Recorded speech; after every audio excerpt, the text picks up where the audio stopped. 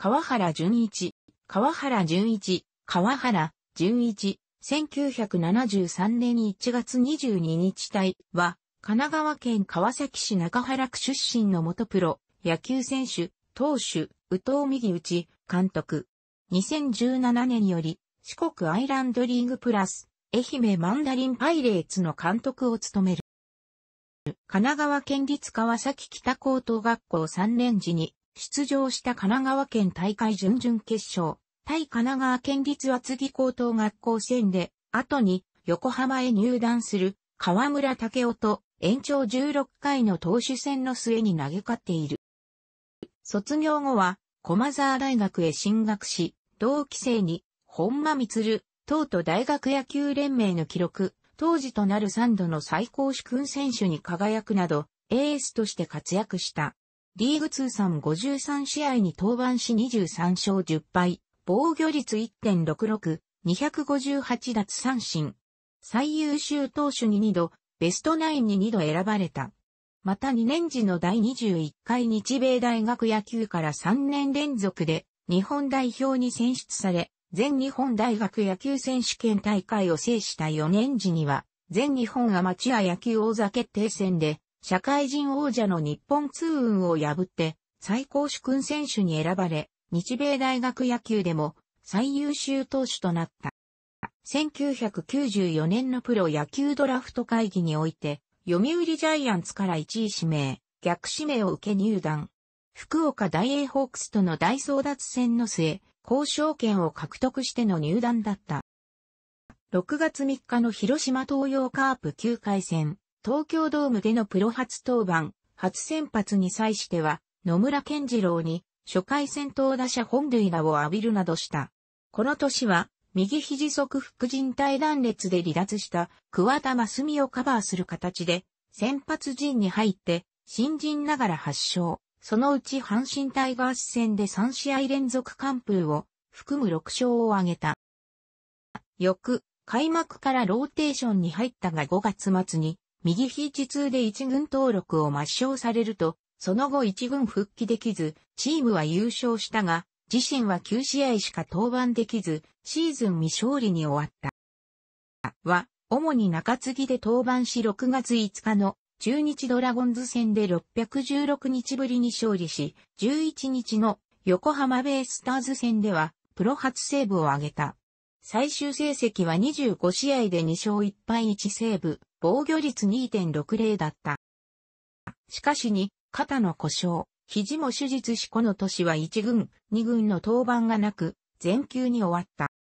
長いリハビリを経て8月8日の広島戦に先発登板し勝利。先発での勝利は1995年9月23日の大阪新戦以来で1461日ぶりであった。しかし好調は長続きできずわずか8試合で2勝に終わる。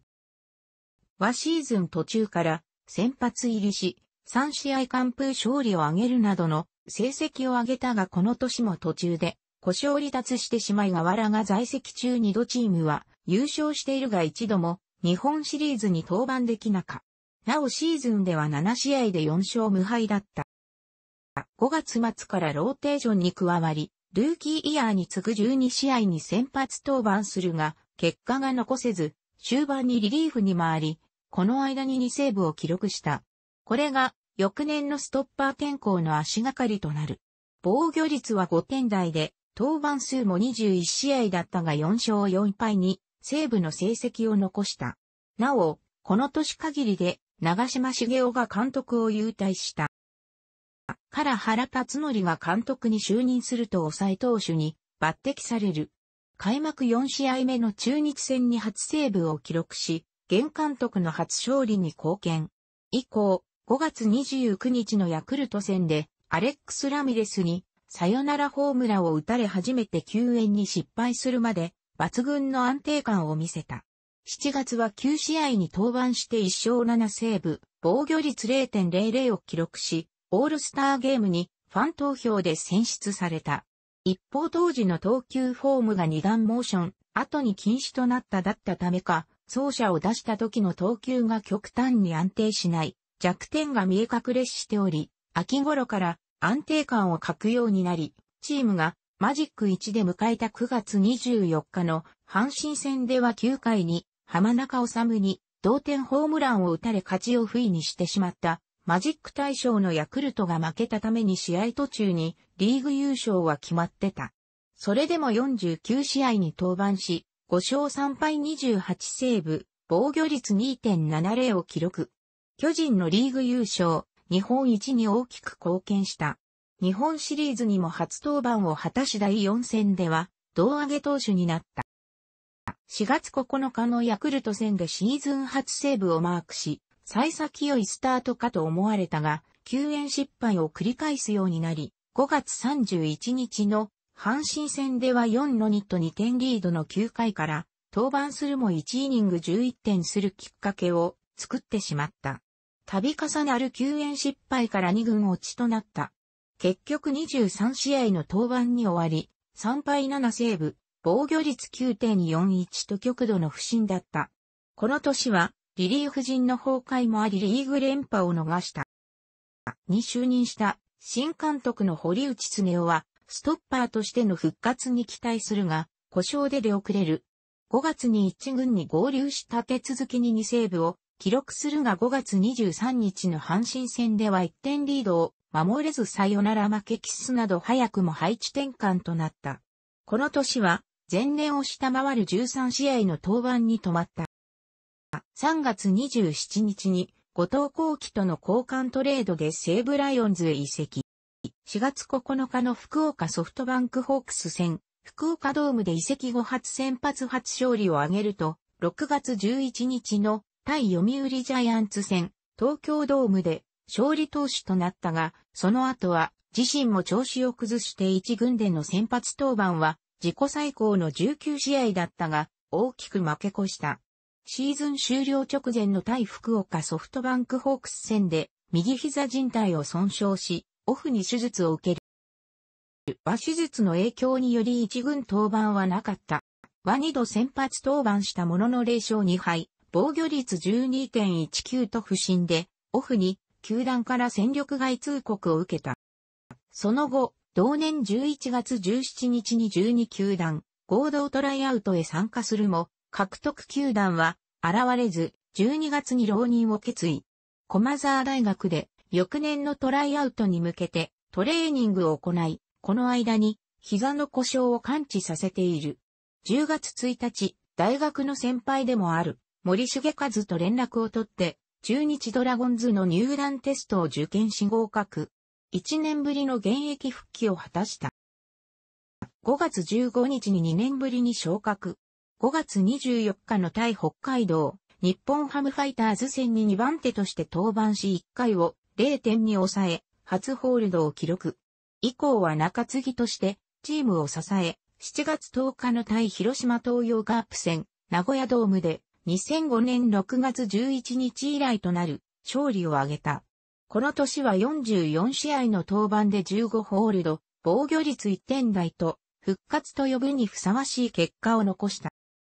は調整の遅れなどから7月に一軍入りを果たし、落合博光監督が、あいつ、川原をずっと待っていたんだとコメントするなど、期待されたが怪我で再降格。終盤に再昇格するが、レギュラーシーズンは4試合の登板にとどまった。ポストシーズン、巨人とのクライマックスシリーズ、ロッテとの日本シリーズでは、レギュラーシーズンを上回る、計5試合に達した。日本シリーズ第7戦では打ち込まれるなど期待に応えられず、チームも延長戦で勝ち越され、日本一を逃した。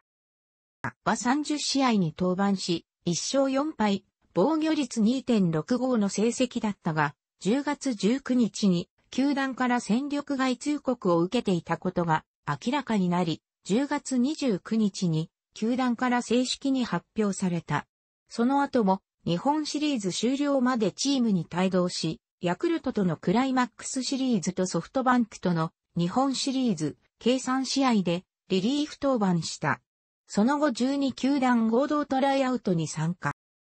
プロ野球人プレー、好プレー対象にて、9回裏、三塁線のバント処理で三塁へ送球するも無人だったため、三塁悪送球となり、走者が生還し、サヨナラ負けになったプレー、2011年4月20日、対東京ヤクルトスワローズ戦で2011年度大賞を受賞した。